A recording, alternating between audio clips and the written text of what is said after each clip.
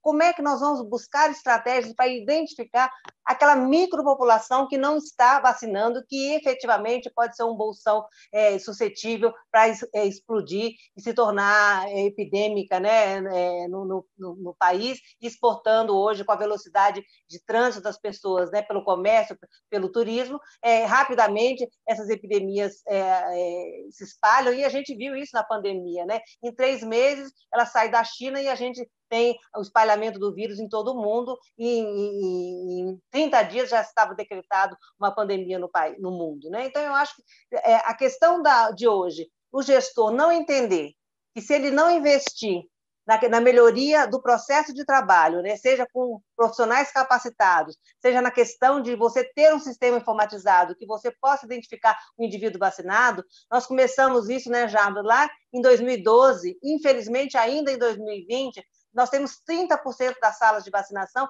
que ainda não estão informatizadas. E isso agora nós vamos pagar o preço na pandemia, né? porque 30% dessas salas sequer tem internet no momento que a gente está falando que vai precisar ter o registro do, do indivíduo né? para acompanhar essa parque tecnológico de ter mais de três vacinas com desenvolvimentos diferentes que vão ter que ser aplicados duas doses em curto prazo de tempo, se nós não tivermos esse conhecimento do indivíduo que vai ser vacinado, dificilmente a gente vai conseguir avaliar o impacto dessa vacinação. Então, vamos ter que fazer tudo correndo, porque tivemos aí uma década perdida, né, porque o gestor achava que era colocar recurso demais na questão da melhoria da qualificação do sistema de imunização, né, e aí isso, com certeza, pode ser um dos fatores que a gente está avaliando para a diminuição das coberturas vacinais. Né? Sem investimento, né, nós não vamos conseguir sair dessa, desse novo patamar né, e buscar a melhoria da, da, das coberturas vacinais. O segundo ponto é a questão realmente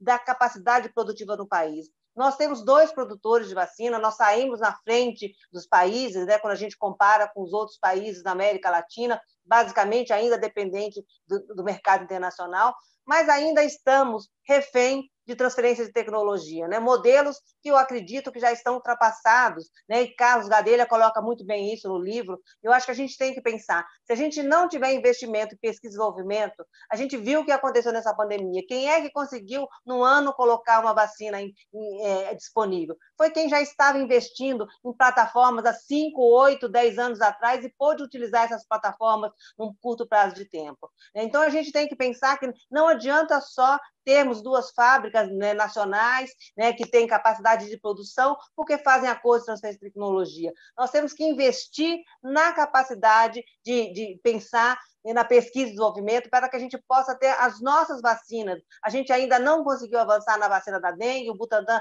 ainda tem uma plataforma, mas não terminou.